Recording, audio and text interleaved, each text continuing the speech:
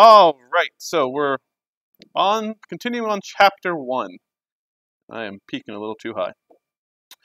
Anyway, so we've talked about computers, notebooks, tablets. However, we haven't talked about the operating systems yet. All right, most of you are going to be familiar with Windows.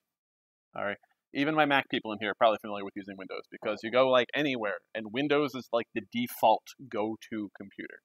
I don't have the data right now on um, what percentage of the market Windows is, um, but Windows is the one that like everybody uses, um, and I don't really know why. I don't know if it was the first one or if it was the cheapest one or what the magic word is there. Um, I will say um, that um, it is it will run on the most variety of hardware, and that might be one of the reasons why Windows has won. Um, so it's just kind of interesting to, to think about that. It's like, okay, you know, you look at all the laptops in this room. It's like you've got a Toshiba, you've got a HP, you've got a Lenovo, you've, you know, you've got all these random brands, but they all still run Windows. And that's probably one of the big reasons that Windows is king when it comes to the, the mass market for, I'm going to specify this as personal computers. All right. For desktops or laptops that you guys are using, Windows is going to be the go-to. Does that mean it's the best? No. All right. Um, my Mac people in here, you're like, Macs rule, screw PCs, throw those out the window. I can't, I can't say anything that bad about a Macintosh. All right. Um, my biggest complaint about anything Apple is price. So if I look at the price, the performance of a Mac versus the performance of a PC, the Mac is always can be equal performance, and the Mac is going to be what like 25 to 50 to 100 percent more. And I'm just like, I can't convince myself to go buy a Mac. Um, so that's just personal opinion. But we do have the uh, Macintosh. Oh, actually, I do have some percentages on here. Windows uses about is about 70% of the personal computer market. 75%. Three quarters of the market share is a Windows computer. Um, and when you look at like large corporations and things like that are giving out computers, and like again, all these computers are on VDIs, which are Windows. All right, so it's not really that surprising to me that Windows is 75% of that share. Um, it is in the long run pretty simple to use, right? You got a nice GUI interface. All right, I used to complain about Macs not having a right-click option. That always bothered me. Now they have it, so I can't complain about that. So it's really just price. Um, Windows is from Microsoft. If you didn't know that, just like throw that one out there. Windows does also, not Windows, Microsoft does actually have computers they built themselves. All right, it's the Surface and the Surface Go laptop. There's a laptop version. Anyone know what it is?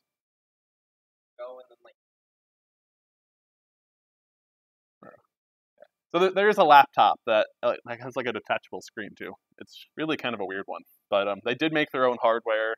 Um, they also tried Windows on ARM-based devices. That was a few years ago. That like crapped out on them real quick.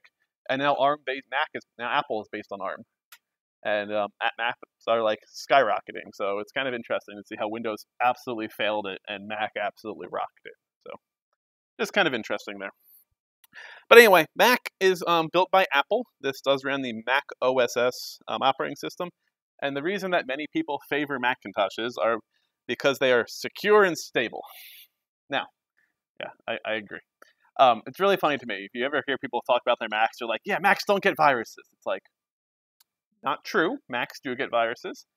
Many years ago, I think back when I was in high school, um, someone put a torrent up of Microsoft Office that had a virus built into it, and because Macs don't have virus scan, they when people would illegally download Office and install it on their Mac, they got the virus, which like put a backdoor on their computer and you know streaming all this data to whatever the server was, and the computers got viruses.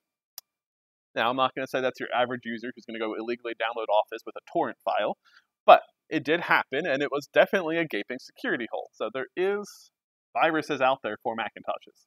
However, if you're going to write a virus for a computer, do you want to write the virus that can affect 75% of computers, or do you want to write the virus that affects 15%? My money's on the 75% one, right? I'm more likely to get my virus on that computer, get personal information from you that I can use for whatever nefarious purposes that I want. So that is why Windows is the large target vector for viruses. It's because that is where the large population is. You also have all sorts of different virus scan virus software now for Windows. You've got Windows Defender built in, which I personally find actually okay. You know, People don't like that Windows Defender is like my go-to. But I also go say, at this point, I'm smart enough to know what I can and can't do on my computer. So I'm perfectly happy with Windows Defender and not having to install extra software on top of it. But there's also McAfee and AVG and a whole bunch of other options out there. Another OS that um, many of you probably have heard of, Chrome OS on Chromebooks. All right. Some people think this is an absolutely worthless operating system. Um, and again, we were talking about netbooks last class and how they were this itty bitty little computer that all it was really good for was accessing the web browser. And I have to say, we have one Chromebook in my house. I bought it used off of Facebook for I think it was 50 bucks. It's a 10 inch screen with a touch screen. And for the most part, it perfect. It gets what I need done for it. My wife is happy to use it. My daughter loves using it because she can play her games on it like it's an Android tablet. Um, but it has a full keyboard, so it really gets the job done for me. It's like the perfect little laptop just to throw in a bag and just not care about. Um, to the point was like after a week of owning, I'm like, maybe I should buy another one of these. like that exact model. I like the touchscreen, I like the all, and I like the fifty dollar price point. And there was still somewhere out there on eBay, but um, but yeah, so it gets the job done for depending on your needs. Um, but the battery life on a Chromebook is going to be way beyond that of a Windows or even a Mac laptop. So that is a big benefit of that Chromebook. Um, and many of them now also are charging off USB-C, which is really nice. So you got one cell phone charger, one charge that charges your Chromebook and your your phone. So that's kind of nice. I think Macs are charging off USB-C now too. Um, they, some of them might have MagSafe nowadays. I think that's starting to come back. But um, and then the last one, which this is going to be the one that many of you probably haven't heard about, is Linux. All right.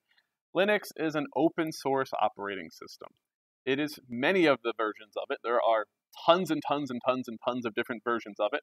Are free for you to download at home. You can install them on your own devices and run them, and most of them work beautifully. All right. Um, you know how Windows now has the App Store? Linux has had an App Store for years. Like I don't know how long, but back when I was in high school, they had an App Store already. So Linux was like ahead of the game on that aspect of things. Um, so it's kind of nice. Um, it's definitely something fun to play around with, just to like experience. Um, very few people that I know of daily drive it, um, except for one of my students. Their husband works for Red Hat.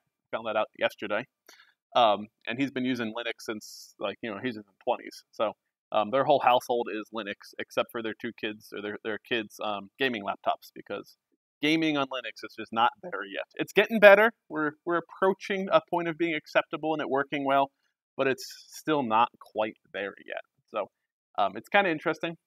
Um, however, where Linux is used drastically, oh, so Linux on the PC market, 5%.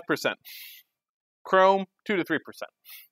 Well, however, where Linux is used, the majority, and we're talking like 93% is what the data I saw yesterday was, um, was on the top 100,000 servers out there. like when you go to Amazon, that is a Linux server that you are accessing. Um, here on campus, I would almost put fat money on the fact that these VDIs are all accessing a Linux virtual desktop interface server. Don't actually know that for sure, but I'd put money on it. Um, my house, I actually have a Linux server running. That's my backbone for my, my home automation and things like that. So Linux is my go-to. And the reason Linux is nice for the server side is it's low overhead. All right? You've got Windows, and it's like, oh, I've got all this crap going on it. Well, Linux is just like, here's the bare bones. Install what you actually need. Not, oh, I go to Home Depot. Home, Home Depot. I go to Best Buy and I buy a laptop from Lenovo, and it's you got all this Lenovo crap on there. It's like, oh, it's already got McAfee pre-installed. It's like, I don't have a license for McAfee. Why does that pre-installed on my laptop? Now I have to go uninstall it. Um, one of the first things I like to do if I actually go buy a brand new laptop is just delete everything and reinstall Windows just to get rid of all the crap that came with it because there is so much of it that it comes on Windows computers. like, I don't want all the bloatware. Just go away and I just wipe it, do a fresh install, and then I'm much happier. So, um, but Linux said um, mainly used for servers. Um, it's it's really kind of surprising how much of the world actually runs on Linux. We, we do actually have a Linux class, which is CSC 109. Um, for those of you who are in the computer science field, you will probably be taking that at some point, and you might get your your lovely teacher here, so I might get to at least read your stuff again because it's normally online. Um, there also is a Microsoft Windows class. Uh, I don't remember what, what that class number is, but we do have one of those as well. It's talking and dealing with like settings and all sorts of wonderful things. So, um, but anyway, so Linux is a very useful tool. Is it the best tool in the world? Not for everybody. All right. It is not quite streamlined yet. Um, and it is open source, which means that the forum community members are the people who are helping you, which is lovely. Except for you're like, all right, I have this problem. You search it, you're like, boom, there, that's the problem, right there. You read the forum, you're like, okay, I need to do this. You type the commands in, and it's like, that didn't fix it. It's like, oh, someone else said I should try this, and you do that. That didn't fix it. It's like there's you know 10,000 answers to a one problem, and depending on the version of the operating system and what version of the software you're installing, you know, there's different fixes and everything gets tweaked, and that's the problem. It is so configurable that it is just a pain for people who aren't super tech savvy.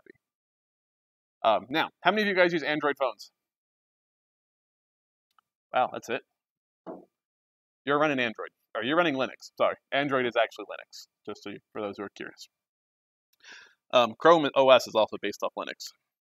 All right, so some other personal computing devices. Smartphones. We've already hit those up, right? You all have them. The big winners right now are Android and iPhone. All right. Some people are calling that a duopoly because there's only two providers out there and they've locked you in. All right. Um, anyone in here play Fortnite? Oh, nobody. Okay. Well, Fortnite has gone to battle with um, Apple and Google saying, You're a duopoly. I want to be able to install my software my way. I don't want to pay your your app store tax of 15% or whatever the magic number is of every penny that I, you know, someone buys in my app and yada, yada, yada. Um, so, yeah, that's the way the game works. But anyway, um, smartphones combine personal computing power with cellular connection. All right, obviously, if you have inter- if you have a cellular connection, you can access the internet on them. If you have a data plan, all right, most people I know have a data plan on their cell phone anymore. Um, I can remember back way back when when I got my first cell phone, that nice brick Nokia cell phone. All I had was phone. I didn't even have texting. All right.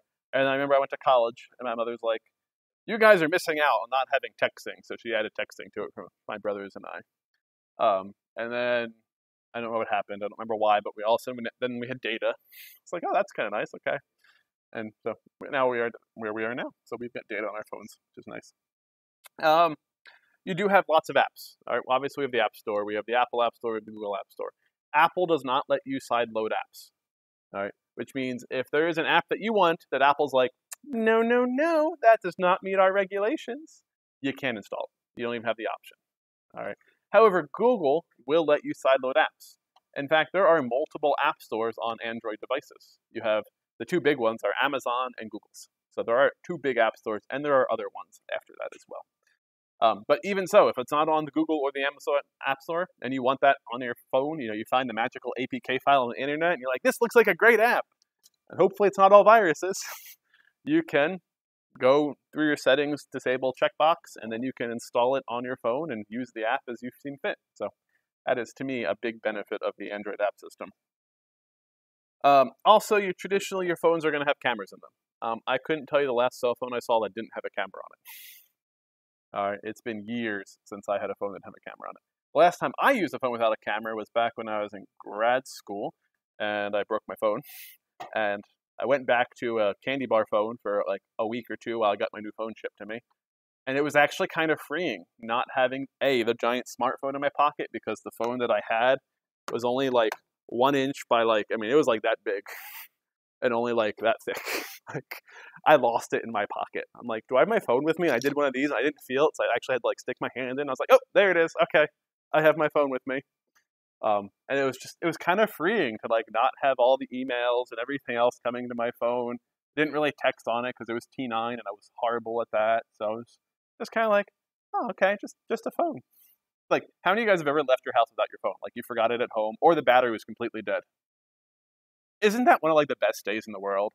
You're just like, no worries, people can't contact me, you know, just I know my schedule, I gotta go from here to here to there, you know, whatever the case is.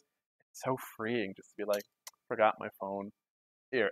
Everyone else might be pissed off at you for not having your phone. You're like, I tried to contact you. I it's like, sorry, phone was dead. Can't help it. it happens. All right. Um, but anyway, next we have e-readers. Anyone have a Kindle or another e-ink device? One person. I have one, two, two. All right. Um, if you do a lot of reading, e-readers are absolutely wonderful devices, um, especially for travel purposes.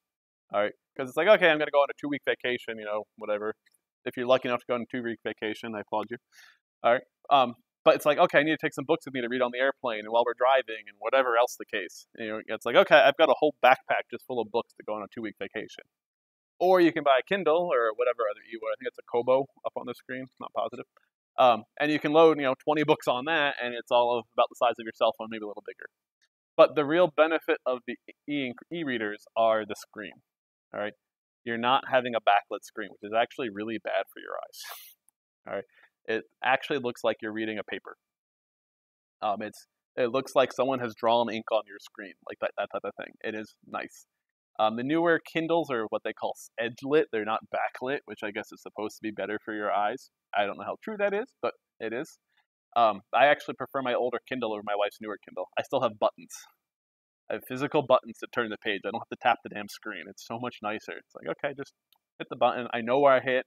You know, it's not like, oh, if you click in this section of the screen, which we don't tell you where it is normally, it goes forward. This one goes backward. This one brings up a menu. It's, it's just like you have to remember that there's this magical line on the screen that above this is the menu system. so I really like my actual buttons better. But the e-ink screens are they're so nice. Um, I've done my fair share of reading on an iPad, and I did the inverted, so I made the text white and the screen black to try to bring the screen brightness down some. It does not compare to an e-ink screen. So highly suggest that for any reading that you're going to do. Um, the other benefit of that is the e-ink screens use basically zero power when you're not changing the screen. So it would be like me turning the projector on, painting the screen and turning the projector off and saying, it, you know, it just sits there, just hangs out. It is physically not basically using no power. So it's, um, I think Kindles used to be rated in page turns. It wasn't hours, it wasn't days. It was like you can turn 3,000 pages on a, on a battery, something like that um, which to me is just really impressive. So it's kind of nice in that aspect. Uh, yeah. Downside to e-ink screens, traditionally, no colors. Black and white, and you have gradients, but you don't have like red or green or blue. You know, you, you don't really get that. They are working on that technology, and there are some devices out there that do have that capability built into them, but not all that often. Um, I don't don't know when we're going to get there. It'll be interesting. Um, there were some companies, I think, at one point that were like having e-ink screens on the top of their laptops. So you could go into like a super low power mode and like read a website or something on it instead of having your normal laptop screen up. But don't know whatever happened to those. GPSs, which we've talked about kind of earlier already. Um, global positioning systems. Um, ideally, it'd be this own little nice little you know separate device, but basically we all just have it in our phones nowadays. And I, I already asked you guys how many have a GPS in your car, and everyone basically said nope. And I was like, I do, because remember, there's no when there's no internet, and you're like Google direct me, and it's like can't do that. Yep, we're up a creek. So, um, yeah, and this is done through triangulation. Now, the really, to me, one of the interesting how GPS actually works. So we've got satellites overhead, right? They're flying through the hand. Global positioning um, satellites or system, um, and what they are actually doing is they're broadcasting what time they sent their message. And like, so this is satellite 32 sending at, you know, 22 and it's down to the nanosecond, like transmit. And then we take that information from all these different satellites, and by knowing what time they sent and what time it is currently, we're able to determine how far that satellite is away from us. And by doing that with three satellites, we're triangulating our position. Which is, to me, again, just kind of really impressive that we are able to do that and all it's sending is time basically. It's just like, yep, this is the time it is. So that one's kind of interesting. Now, one thing that people like to use GPS for, how many people have heard of geocaching? Some people shaking their head. All right. Um, one of my favorite lines of geocaching is using multi-million dollar satellites to find Tupperware in the woods. All right. So if you haven't heard geocaching, it's people hide little Tupperware containers, um, ammo cans, giant Rubbermaid containers, whatever the case is, all over the place. Um, and then you use they give you the GPS coordinates for where that item is, and then you can go try to find it. All right. Um, behind campus, in the behind the energy house, there's that parking lot, kind of like up the hill behind the STEM building. In that parking lot area, there is a geocache for those of you who are curious to like go find out what it's all about. You know, geocaching.com. Um, it's really funny also to me that um, people who are really into geocaching, I've, I've heard this story. The, the wife said, "Hey, you want to go for a walk?" It's like, "Nah, I don't want to do that." And the wife goes, "Hey, there's geocache down the road. All right, let's go." it's, it's an excuse for people to get their butts out of bed, go find a you know a stupid little trinket or box that they can then write their name on, and you know, something to do, not just like let's go for a walk down the road. So just kind of something different. Next, we have video game systems. All right, um, Xbox, PlayStation. Those are the two big, the biggest ones. We also have the Wii, not, uh, the Switch. It's a Switch now. It's not the Wii anymore. Um, and it's kind of interesting to see how they differ. Xbox, PlayStation, they're both basically the same thing. All right, console plugged into your TV. PlayStation plays PlayStation games. Xbox plays Xbox games. You know, kind of the how it works. Um, the Switch, on the other hand, kind of said, you know what, we want to be different. And the Switch has, it's like a tablet with a joystick built onto it or disconnectable. But then there's also a dock you can slide it in to connect your TV to it. All right. Um, that would be by Nintendo for those who don't know. Um, so it's just kind of interesting to see how they went for different markets per se. Um, the Switch tried to do it all, and it does it all okay.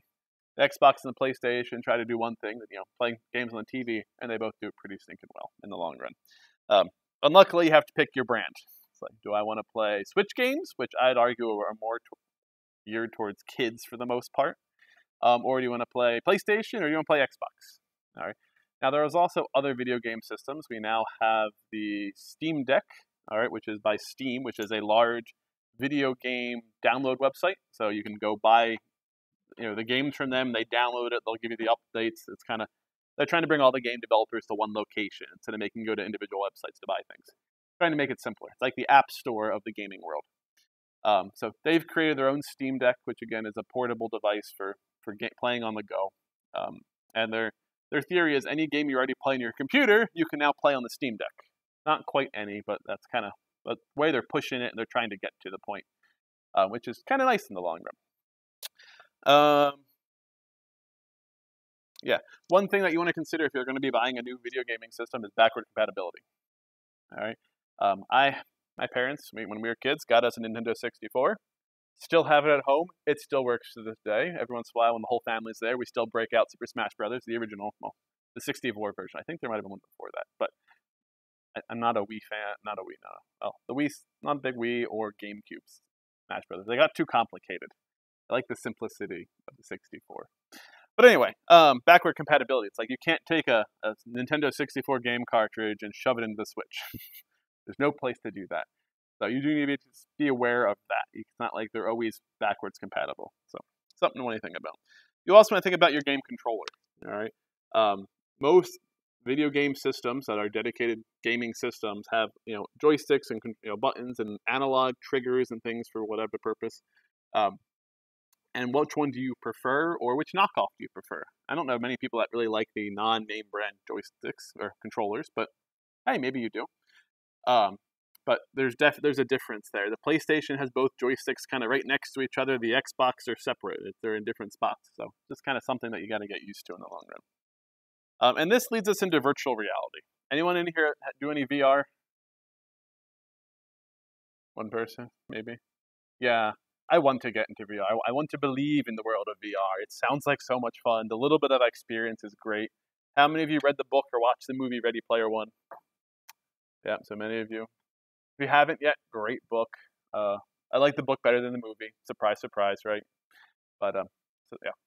So virtual reality is an artificial world that consists of images and sounds created by a computer and that is affected by the actions of person who's experiencing it.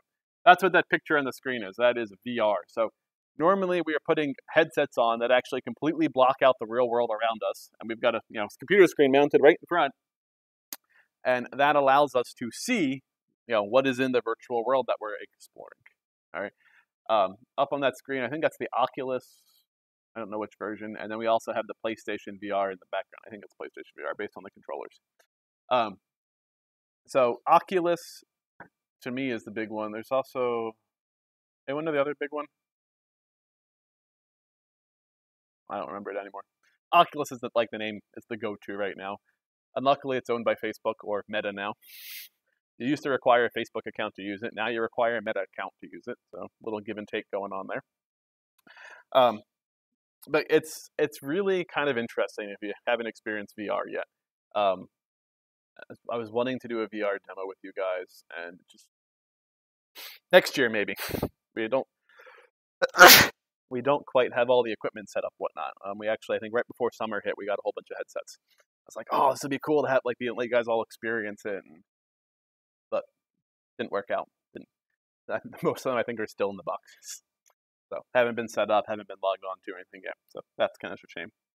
But um, yeah. So virtual reality. Um, we also do have augmented reality, which is not as well known as virtual. All right. Augmented is augmenting the world around you. All right. How many of you guys heard of Google Glass? Any of you? All right. It was a pair of glasses that you wore that had a little itty bitty screen right here by your, your eye, so you could see like notifications from Google or take pictures on the camera. But then I think they could also like that one might have been able to augment, but anyway, augmented reality is actually like a clear see-through headset that you wear that has that are computer screens. So that way, when you're looking and I'm looking at all you, if I had AR augmented reality on, I could have just have your name above each of you. And as a teacher, I would love that. That'd make my life so much easier because I still don't know all your names, and I'm sorry about that. I really I hate not knowing your guys' names, but priority list is that's not my priority. It's getting grades graded and things turned in so you guys get feedback. So that one's higher on my priority list. Um, but it'd be really nice to be like have augmented reality, be looking at you guys, like, oh, okay, that's Joseph and that's Esdra, and you know whatever. Continue around the room, um, or have my my notes going on like an augmented reality, so I could see all you guys and not actually have to carry my laptop around and you know whatnot. That'd be really convenient, but not the way the game works right now. So, um, yeah, but it's an overlay of the actual world. So physical, virtual over physical. Uh, and it could be such things as like map directions. You're walking down the street, you're like, where do I turn left? And as you look around, which I don't know if any of you have done this recently, Google Maps, if you're walking, you can, there's a button you can press, and it like you scan your surrounding with your phone with the camera, and then it's like, oh, we know where you are, and then it starts like overlaying things on your phone of the world around you. It was I was dri- I wasn't the one driving someone else was, and I was I hit that. I'm like, what's this button doing? I hit it. I was like, this is really weird. It's like showing you store names and like what they sell, and I'm like, okay, different, but I like it. Now gotta get used to this first. So, but anyway, so that's augmented reality. Um, it's it's growing in, in popularity. Um, it'll be interesting to see in 10 or 15 years as any technology is where it's at and what it's doing and whatnot in the long run, virtual reality and augmented are still in their infant stages. All right. Um, I think Oculus. There's a video about that.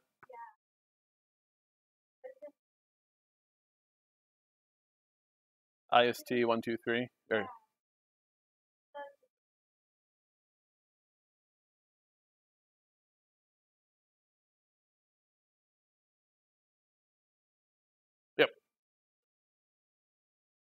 Yeah, it's, it's, we're still in our infancy. It's the technology isn't really there, especially the screens. Um, a lot of people people with VR get uh, motion sick because when they look left, right, it should update and they should you know whatever's on the screen should move proportionally to them. The problem is it doesn't always.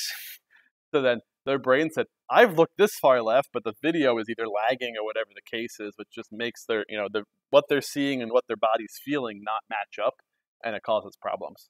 Um, it's really kind of fun to do that with uh, drones too. If you ever see um, drone racing, yeah, they've got the goggles on, so they have the camera on their drone.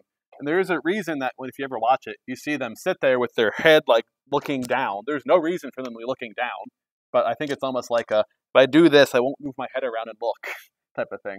Um, but otherwise, people start getting nauseous because it's like the drone's moving left and moving right, and you're not moving at all. So your video's doing all this crazy stuff, backflips, whatever. I always love doing that to people. I, last job, I'd take people out to the field and be like, okay, we're to do a drone demo. And I'd be like, okay, here are the goggles, put them on. They would. And I'd be like, you ready? And they're like, yeah. And I would just full throttle and just like skyrocket in the air and do backflips. And they're just like, holy. They weren't expecting that. I think they were expecting me to take like take off kind of carefully and do it. And I was like, no, I'm just going for it. so that was always kind of fun to do. By the way, there are drone classes here if anyone's interested. I'm the one that teaches them. Surprise, surprise. All right. Um, Types and characteristics. So, personal computers are meant to be used by a single user, one person at a time. However, we do have multi-user computers. All right. Um, traditionally, this is going to be some sort of server. And a server is a device that provides services to multiple clients featuring centralized resources such as file storage, processing, and security. All right.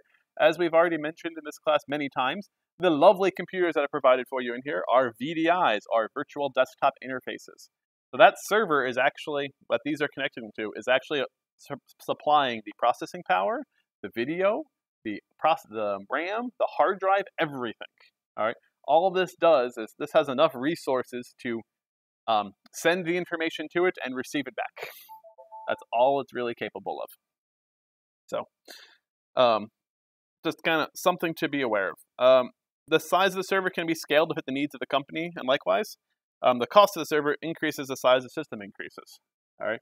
So my little one server at home, which is an old Xeon-based computer, not really ideal. It's a little bit of a power-hungry machine, but I have one little like it was an old desktop that was you know used as a workstation somewhere that someone was selling, so I bought it.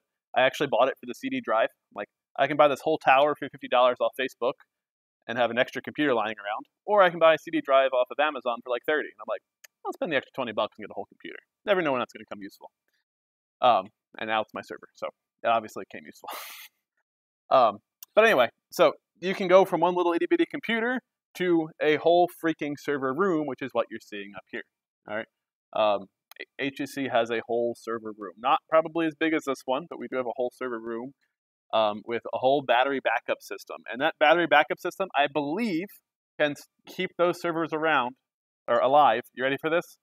For a whopping like 30 minutes. That's long. All right. They need about 10 seconds or 30 seconds, something like that. Just enough time to get the generator started, basically. So as soon as the power grid goes down here, the batteries are instantaneously on. Like you wouldn't even notice that the power went out because of that. And then the generators instantaneously start. And then once the, the generators are up and running and at a safe voltage and everything's happy, then that power switches over to the generators.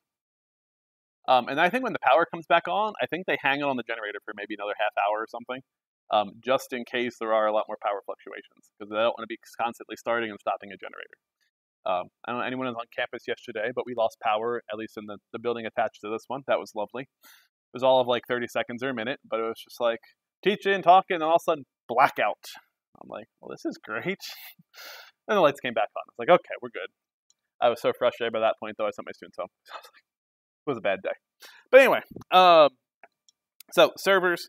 Um, yeah, traditional servers are going to be much more powerful than your standard PC because they are there for dedicated tasks. And you could have thousands of people accessing that server at any given point in time. All right. The VDIs that these computers are accessing, look, there's 30 of them in here. All right. That means you have basically 30 computers built into one tower. Think about that. Or one rack, I should say. I don't know how big the, the VDI actually is. So, you know, that's a lot of processing power to have 30 people. And this isn't the only lab that has VDIs. The STEM lab has VDIs. I think the LSC has VDIs. So, you know, there might be 100 or 200 different VDIs on campus that all may be trying to access this one computer, one server at a time.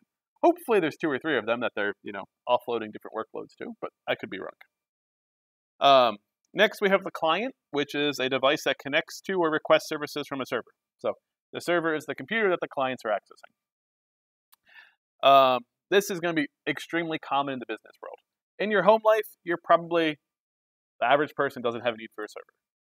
I'm obviously not your average person because I do have my server running at home. It runs things like my home automation, a file server, um, Plex server, um, VPN connection, uh, Nextcloud, which is a Google Drive alternative for um, having it you're hosting yourself, which I haven't started really using yet, but it's there for me to start using it. Um, there's a whole bunch of other things I'm not remembering off the top of my head. Uh, websites. If I have, want I have a website, that can do it. So I've got a lot of stuff going on in the background at my house. Is what it comes down to. Um, but anyway, at your house, what you might have is a NAS. All right, that will be your server for your average home user. If you have a need for some sort of server, a NAS or a network attached storage is probably what you're going to have. Um, some of them even actually have like other server capabilities built into them. So they're a small computer, small computer with hard drives on it that you might be able to run things like a Plex thing, a Plex uh, service or something like that on. So it does do kind of double duty, but it's a very small device. So that's probably what the average person would have if they're going to have anything. Random question, but for your home server, are you running? Yep. Yeah, what variation? Proxmox. So Proxmox is a variation of Linux, but it's meant for virtualization and containers. and I use it for containers because everything is its own little thing. So when one thing crashes and I can't figure out how to fix it, I just shut that one container down instead of my entire server. And it's actually served me very well over since I've gone to that system. So that's what I'm doing. Um, all right. Um, yeah, okay, networking. Some common services include internet access, email, file services, backup and storage, print services. I said VDI. Um, before I hit all that. All right, you also have mainframes and enterprise services, and these are used with businesses with massive amounts of data to be processed. All right. Um, if you work for a financial company, they're processing all sorts of you know small calculations. They're going to need a much more powerful computer than a company who's just hosting some files for a website or something like that. So it's again a lot of give and take going on here when it comes to the wonderful world of servers, um, and that's the problem. It's like there's no one size fits all. All right. Uh, this is also why I believe that Linux is one of the kings in the world of servers, is because they are very flexible on what devices they're running on. Windows is pretty good. Linux is almost better. Where it's like I've got this really obscure piece of hardware. Yeah, I need it, it one very specific purpose. Linux is going to be your better choice. What it comes down to. Um, we also have supercomputers, and these are performing specialized tasks such as weather forecasting, oil exploration, biomedical research, and gene research. So again, lots and lots and lots and lots of heavy processing is really what it comes down to. So a supercomputer isn't anything. I mean, it's it's a crazy computer. Don't get me wrong. Like its capabilities are crazy. Also, the amount of heat it uses and the amount of energy it uses is also crazy. Um, some server company, I forget who, I think it might have been Google, um, decided because heat is a big issue with servers. How do we get all the heat that the computers are making out of the building? And someone said, you know what? What if we sink the computers in the ocean? Or river or lake, I forget what it was. But so they literally built a capsule, put all their computers in it, water tighted it, you know, had the big internet, you know, fiber optic cable and power cable go into it, and they just dropped it in the water for a few years. And they, you know, the amount of energy they used for cooling was basically Nothing, because the water did all the cooling, right? The heat went to the water, the water flowed over it, and it pulled all the heat off, which was great. Um, as like a one-off, I think that's probably a great idea. As something I want all my servers doing is no, because that's going to start seriously raising the temperature of the water that we, you know, these servers are in, to the point where we can't control that water temperature. What's that going to do to fish life and you know all the other fun stuff? So I don't think it's a great idea for a long term everybody to use it. But as like a little one-off, I think it's actually probably a pretty brilliant solution. Um, yeah. So supercomputers. And now the last one is distributed computing. Anyone heard of distributed computing before? Someone kind of, maybe. All right. Um, to me, this one is actually really interesting. Um, it is basically is well, this is AKA grid computing at small scale. But basically, it's you donating the time of your computer. All right, you guys all have computers at home. How many of you guys leave your desktop on 24 7, even if you're not using it? Nobody? I applaud all of you. Thank you very much. All right. Thank you for helping save the world. My server obviously sits there at idle all the time because it has to, but my other computers in my house aren't. Um, but years I just left my computer on the whole time. But basically, distributing computer is saying, hey, my computer's sitting here idle, not doing anything. Do you have something for it to do? And you can donate your computer's idle time to somebody else. All right. Um, so obviously, there's a lot of companies out there that are doing this. This is almost like Bitcoin mining, not quite though. Right? Bitcoin mining, you're processing lots of again mathematical calculations, trying to mine Bitcoin, and you're making money off that, and also processing transactions of people buying and selling things. That's also happening on your computer. All right, but distributing. So as I, as I have on here, people can volunteer their computer's excess processing power to pro, to a project such as SETI at Home, S-E-T-I at Home. Um, so the SETI at Home project analyzes radio telescope data to search for extraterrestrial intelligence. So instead of having someone, you know, this this small organization who doesn't have funding to buy large supercomputers, they went to their friends and said, "Hey, can I use your computer when you're not using it?" And they went, friends, I went, "Yeah, sure, that's fine." And they installed something. So my computer says, "Hey, I need you to process this data." I send it out to you. Your computer processes it. When you're done, you send it back to me, and I send you your next bit to process. So it's just a little bit of back and forth going on. So it's just me using your computer when you're not actively using it. And when you are using it, my stuff just goes idle. And then once you're done, you know, after five minutes of inactivity or whatever, my stuff starts working again. So it's really using all the resources that we have that people, you know, think about all the processing power that just sits idle. You know, it's like we really need to figure out, you know, the, the gene mapping for COVID so we can come up with a good thing. Well, if everybody just left their computers on 24 7 and we all said we're going to help out the project trying to gene map COVID so we can defeat it, that'd be probably like triple or quadruple minimal the amount of processing power that that person had access to now because everyone's just like, here, use my computer. Um, and one of the projects, one of the distributing computer ones when COVID hit, I think was actually working on COVID data. Um, their servers actually couldn't keep up with the people volunteering. they couldn't distribute information fast enough to everybody because everyone's like, yeah, use my computer. Let's fix this. Let's solve this problem.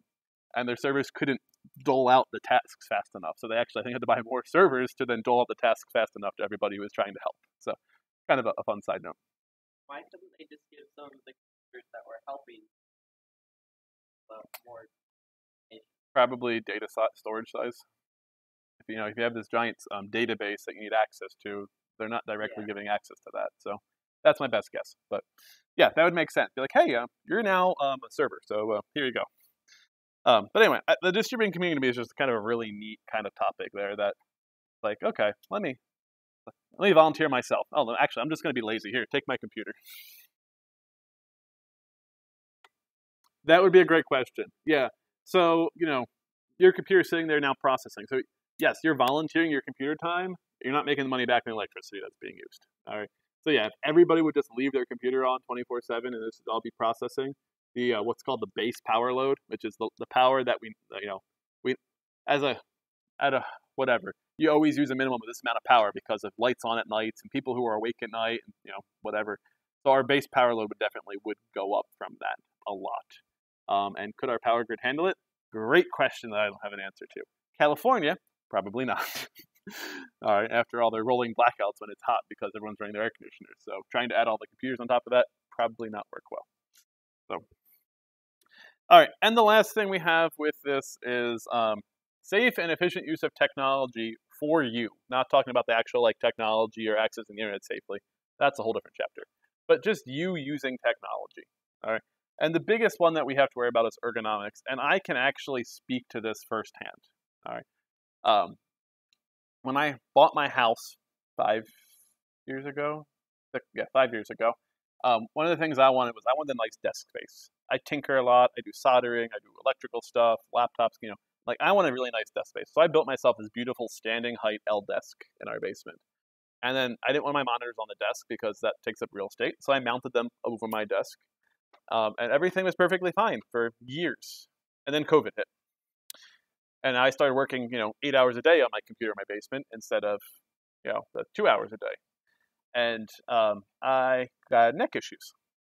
And it was really weird how the neck issues actually came. It wasn't my neck that hurt. I had this like searing pain that was like down to my arm, um, to the point that I actually went to physical therapy to try to, to get this solved.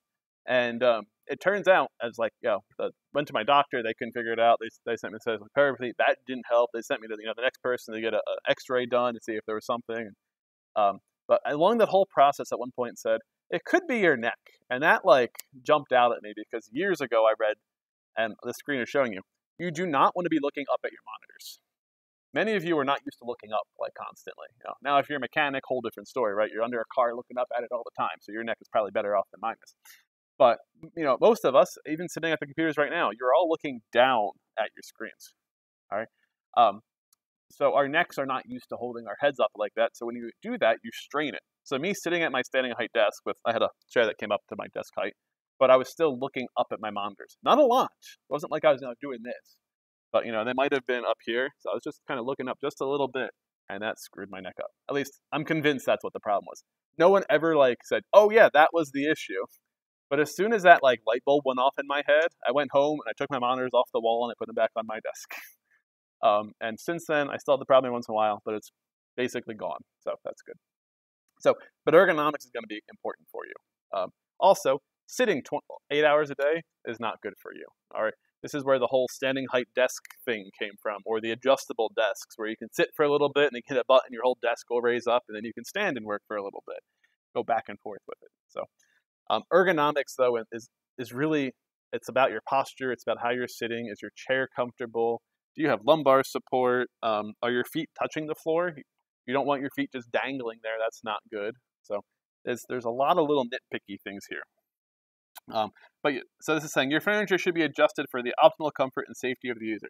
Now, I'm not saying you need to go home and buy the $300 gaming chair to be nice and comfortable while you sit at your desk. All right. But if you want to use that argument with your parents, by all means, go ahead and try. Uh, don't blame me though. All right. I don't want phone calls from anyone's parents saying, "My son said he needs a $300 gaming chair." I'm like, that is not what I said. All right, but you know, it's a little bit more of an argument that you might be able to say that this is ergonomically correct and it's going to help my posture and yada yada yada. So something just kind of think about. Um, the other thing we need to think about with ergonomics is the universal design design principles. So this is to assist people with and without disabilities designing spaces that are easily accessible. All right. Again, those standing height desks, there, the adjustable ones, really come in here. Here, come in handy there. Um, but this does also apply to user interfaces. Like how do you click on things and all that fun stuff.